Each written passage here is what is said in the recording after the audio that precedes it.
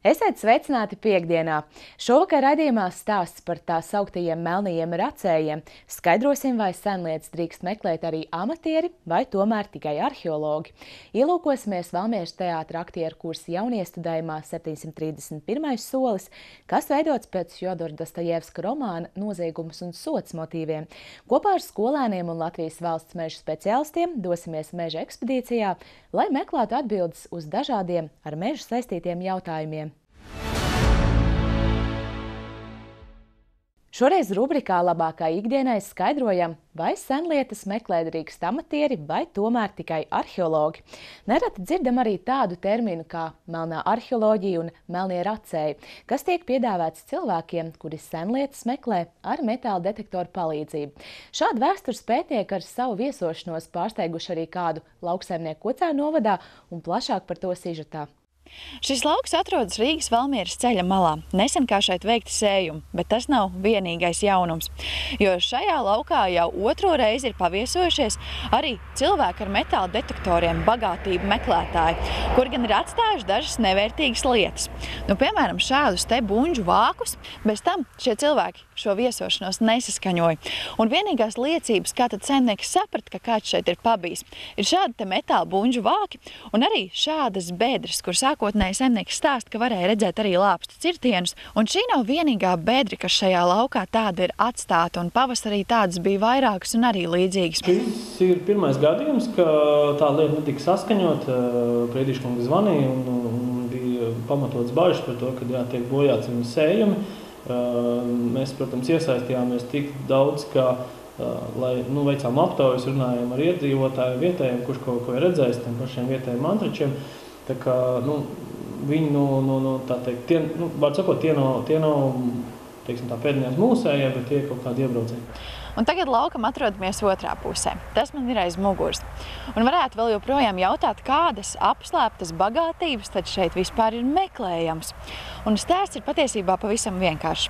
Tieši šajā pusē atrodas Vaidavas muižas senā apbūve. Un tieši šeit, aptuveni šajā teritorijā, ir iezīmēta kartē vismaz trēziņu senkapi.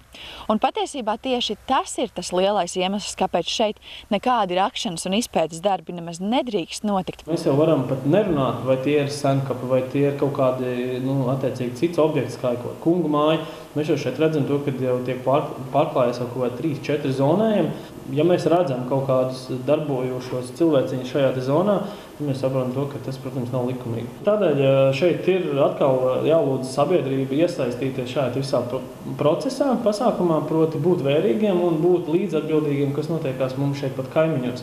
Arheologi šādu darbošanos ar metāla detektoriem parasti vērtē ļoti noraidoši. Nevis konkurences dēļ, bet gan tāpēc, ka arheologu vēsturi fiksē, bet cilvēki ar metāla detektoriem bieži darbojas kā vērtīgu lietu meklētāju un mantrači.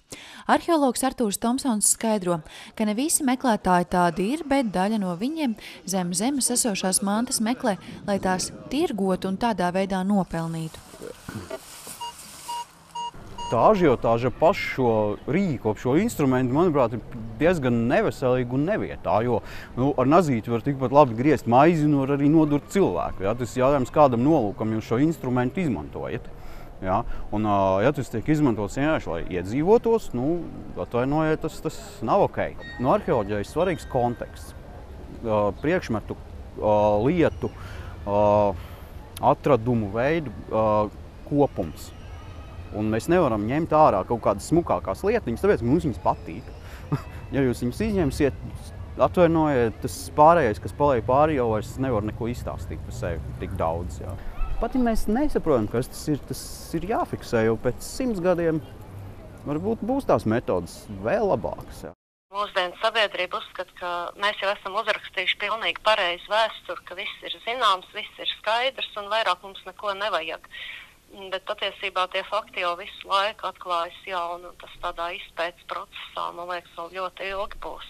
Nu, bet, ja nebūs ko pētīt, tad mēs tā nu, pašapmierināti laikam paliksim pie tā pie tā atzinuma, ka viss jau tāpat ir skaidrs. Cenšoties saprast, kā tad īsti darbojas senlietu meklētāji, sazināmies ar vairākiem no tiem un secinām, ka reti kurš gatavs ar savu pieredzi dalīties kameras priekšā. Noteikumi paredz, ka visas arheoloģiskās liecības, kas sanāks par 18. gadsimtu, obligāti ir jānodod valstī. Ja šādi seni priekšmeti tiek glabāti pie paša mantrača, tad tam pienākas sots runā, runā un skaties, nepaies ne mēnesis, ka tev mājās mēnešu monu uztaisīs tāpat kā tur cilvēkam.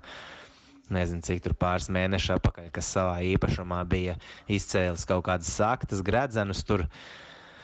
Bija jau tubā kanālu kaut kādu taisījis, vai ko tur kaulus bija atradzis un prasījis, ko darīt. Un pasties nepagāja ne mēnesis, un aiziet tiesvedība kas tur viņam vēl bija mantas konfiskācija, 850 vai 900 eiro sots un 160 darba stundas. Tā kā, nu, lieliski, lieliski. Draugs viens atnesa to, ko sauc par metāla detektoru. Man izglītība ir radioapatūras regulētājs, vajag sataisīt. Jānis metāla detektoru salaboja un pēc kāda laika nopirka arī savu. Reiz atradis, kā pats teica, depozītu, sudraba rotas un monētas. To visu viņš nodevis Turaidas muzejam. Ko man tas dod, ka es turu, ot man ir, un neviens to neredz. Bet tagad viss redz, viss pasaulē redz. Bet tā emocija pēc tam, jā, man tur ķēngāja duraciņš, ka tu atdevi valstī, būtu privātiem pārdevis, ka tā nauda. Te viņi ir, te viņi nav. Privātie maksā vairāk par tādiem atradumiem? Muzejs samaksāja 2000 latus toreiz. Privātie deva 15, 20 tūkstoši latus. O, tā ir nu, ļoti liela atšķirība. Nu, un Par savstarpējo sadarbību starp arheologiem un tā sauktajiem racējiem grūti spriest. Abas puses izsaka cerību kādreiz sadarboties, bet atzīst, ka šobrīd tas vēl neizdodas. Tikmēr skaidrs tas, ka katram, kuram ir metāla detektors, noteikti ir jāievēro noteikumus, kas paredz, ka svešā zemē apslēptu mantu nedrīkst meklēt. Kultūra vēsturiskie pieminekļi ir jāsaudzē un, atrodot cenas mantas, jāsazinās ar Nacionālo kultūras mantojumu pārvaldi, jo iespējams atrastais būs vērtīgs vēstures vēstures pētniecībā. Laura Akmentiņa, Mārtiņš Balkēmats, Moskovskis, Vidzemes televīzija. Atgādināšu, ka arī jūs, skatītāji, varat iesaistīties stāsta veidošanā, rakstot mums Facebook lapā vai arī zvanot un sūtot SMS uz ekrānā redzamo tālruņa numuru. Bet raidījuma turpinājumā dodamies uz Vangažu pusi. Šomēnes astoņās dažādās vietās Latvijā pulcējās sestoklašu skolēni, lai kopā ar Latvijas valsts meža speciālistiem dotos meža ekspedīcijās un kopīgi meklēt atbildes uz dažādiem jautājumiem. Piemēram, kā noteikt koka vecumu un kādos produktos ir izmantota koksne.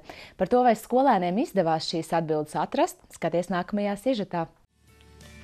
Mežā pavadot apmēram 3 stundas un mērojot aptuveni 2 km maršrutu, sastāvklaša skolēni izzina meža vērtības, tā kopšanu un savu ietekmi dabas procesos. Es gribētu teikt, ka lielais mērķis ir, uh, ir tas, ka, ka mēs gribam, lai bērni saprot, ka uh, mežā ir, uh, ir jāstrādā tieši tāpat kā visur, ka meža saimniecība ir tāda pati tautsaimniecības nozara, ka mežs ir jāaudzē un ka mežu audzēt ir forši. Un uh, ka īstenībā mūsu saistība ar mežu ir, ir daudz plašāka nekā varbūt mēs iedomājamies, uh, nu, vai tā ir baļķu māja vai, vai koka galds patiesībā uh, tas ir, tas ir uh, tie, tie daudzie produkti, ko mēs iegūstam no koka, un, un gal galā tas ir tas gaiss, ko mēs elpojam. Šādas meža ekspedīcijas ir kļuvušas teju par tradīciju un norisinās jau vairākus gadus.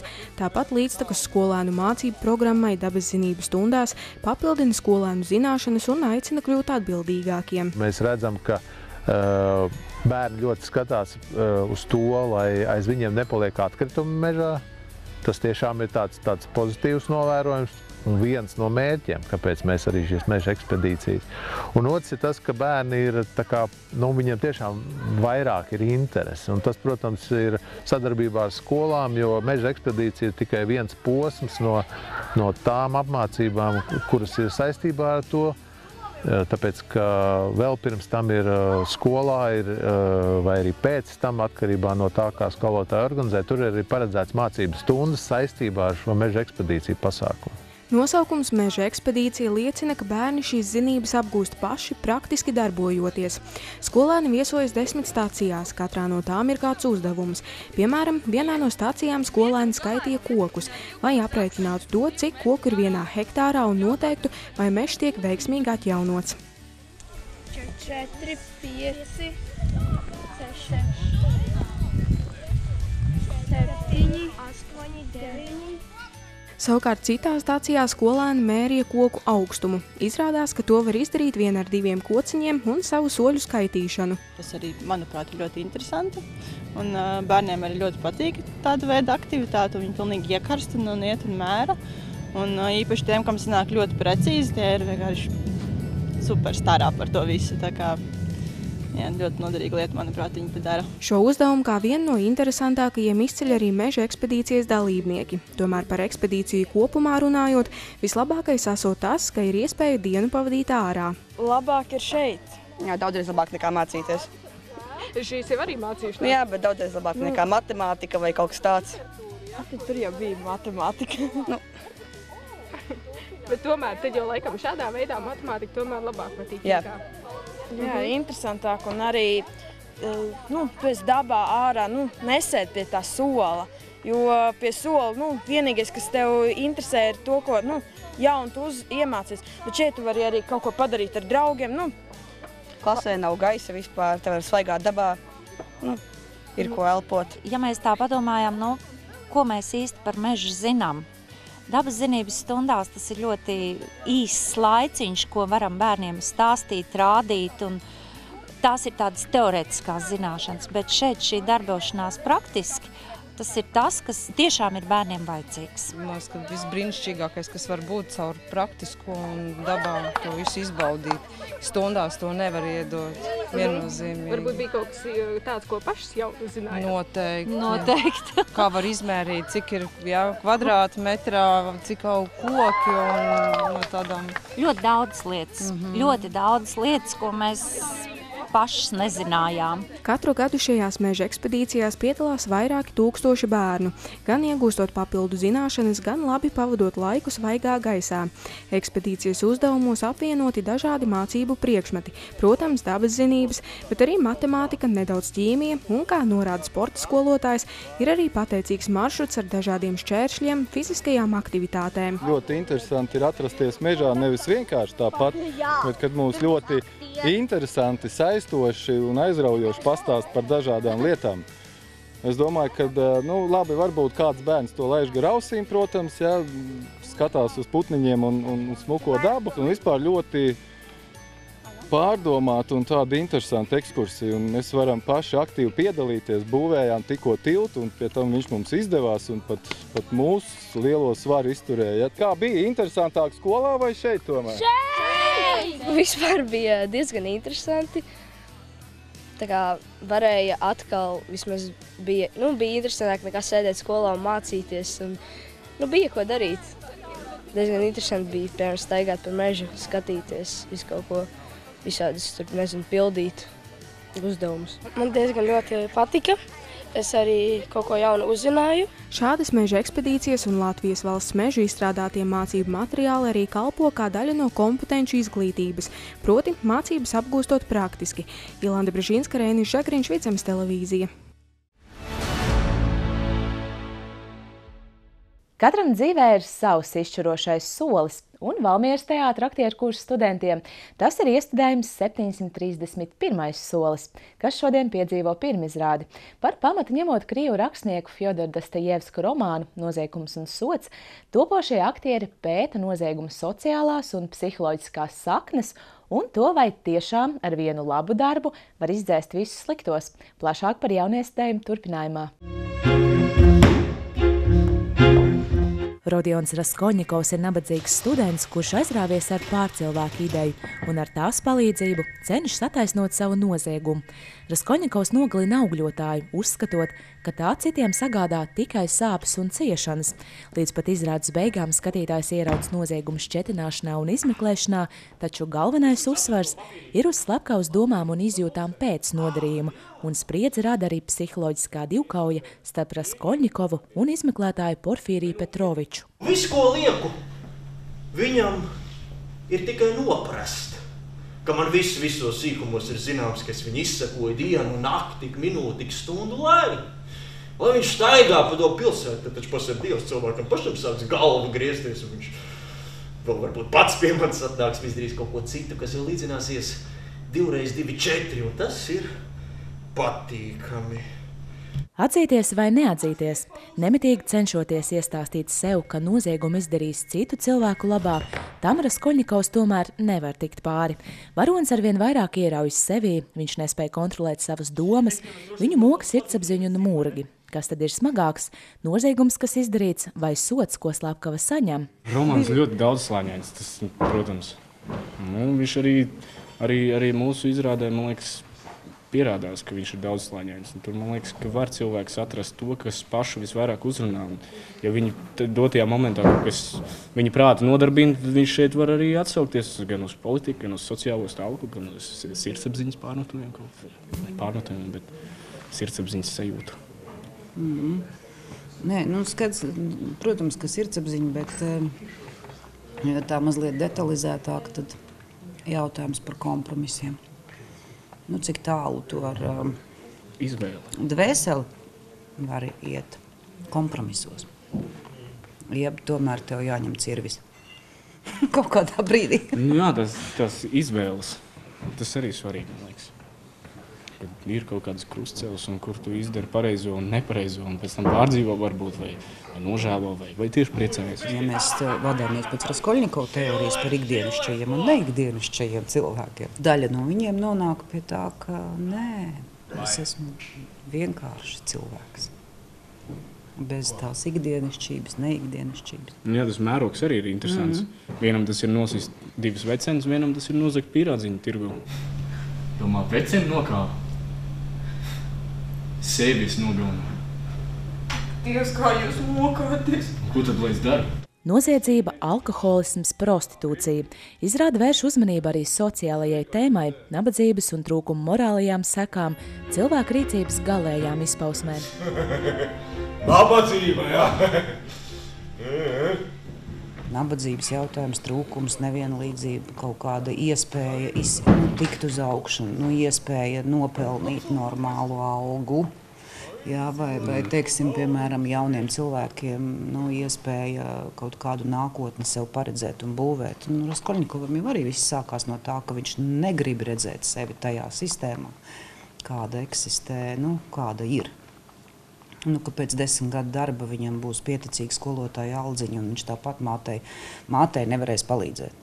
Nu, tā kā tā ziņā jau nu, ir arī nekas jau nav diži mainījies no, no, no tiem laikiem. Protams, ka tā laika Pēterburga ir mm, kolorītā mazliet savādāka, protams, nekā mūsu Latvija, bet domāju, ka nav arī būtība un mūžīgais laikam jau nezinu vai tiešām pasaule tā būtu uzbūvēta.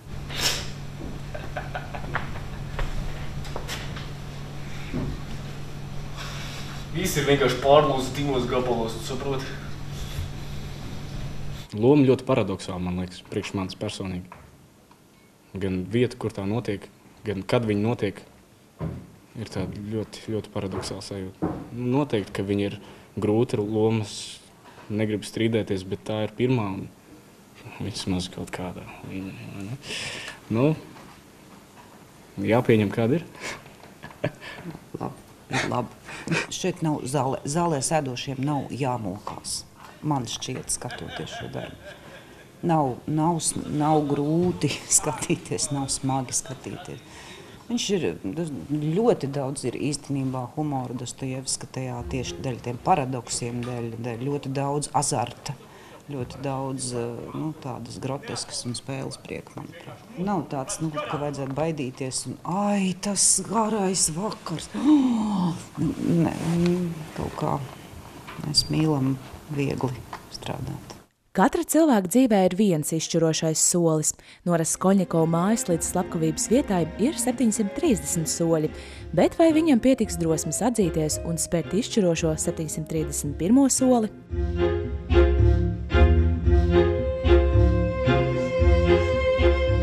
Santa Baumana Klausas Krastīņš Vidzemes televīzija. Šodien tātad pirmizrāde šim jauniestudējumam, bet jau tagad sociālajos mēdījos cilvēki neslēpj sajūsmu arī par nākamajā nedēļā gaidāmo Valmieras teātra izrādi Smieklu sasaukšanās, kurā piedalās arī mūziķi Renārs Kaupers un Goran Gora. Par ko vēl cilvēki šajā nedēļā runājuši un diskutējuši internetā, to apkopojas mans kolēģis Elvis Krastīņš. O, sveiki! Ir klāta nedēļas nogale, kas nozīmē, ka laiks ir interneta apskatām. Es domāju, jūs man piekritīsiet, ka šomēnes laikapstākļi ir ļoti neparedzami. Nu, vienu dienu gribas sauļoties, bet nākamajā dienā jau jāvalk ārā biezais mētelis un adītā cepure. Arī Facebook lietotāji par šo fenomenu iesmēja un publicēja savus viedokļus, kā arī foto. Kā piemēram Kaspars Kalvāns ir publicējis foto ar pirmo sniega vīru. Kaut gan pēc struktūras liekas, ka tas ir pirmais krusas vīrs. Ar laika apstākļiem arī turpinām. Es domāju, ka visi esam pazīstami ar dziesmu pilsētā, kurā piedzimst vējš. Šī dziesma ir par liepāju. Un arī mazais video ir no liepājas. Šajā video ir redzams brīdis, kad no kādas mājas ir daļēji atdalījušās stalažas. Un darbinieki, tie, kas redzami zaļajās vestēs, tās cenšas noturēt. Papildus tam video autors humoram pašam salažām ir pielīmējis acis, rokas un muti, kas smieklīgi panikā šaudās. Pie šī video ir arī pievienota trīsrinde. Celtnieki stalažās sēž. Stalažas plēš, bet nenoplēš. Pilsētā, kurā piedzimst vējš. Un beigsim šo interesanto apskatu ar kādu video. Mūsu politiķiem nekad īsti nav veicies ar angļu valodu. Sākot jau ar slaktera Special, uh... Līdz Andra Bēziņa šausmīgajam akcentam, lasot no lapas, kad viņš tikās ar tā laika ASV prezidentu Baraku Obamu. Visi future together, uh, in the same time being very active in uh, uh, Europe, we will become members of Eurozone 1st of uh, January. We are actively working, thank you for support, to become members of OECD And uh, of course, our uh, focus is to look for new possibilities in Europe and using our uh, past experience. We are focusing to Central Asian countries and, uh, and also to Eastern Partnership countries. No šīm pulkam ir pievienojusies labklājības ministre Ramona Petraviča, kuras akcents uzstājoties demogrāfijas trešajā samitā Budapeštā, nu es neteikšu, spiediet paši. One of the priorities of the current cabinet of ministers in Latvia is to improve the dem demographic situation. The demographic challenge, declining population, low birth rates, immigration and aging have been very evident in Latvia. In this situation, together with budgetary constraints, demography and family policy are very complicated areas of the government of work. Ar šo stāstu arī beigsim, lai tev pozitīva ir šī nedēļas nogale un tiksimies jau nākošreiz. Paldies, ka šovakar bijāt kopā ar mums, lai jums izdevusies nedēļas nogale un raidījumā ikdiena tiksimies atkal pirmdien. Atā!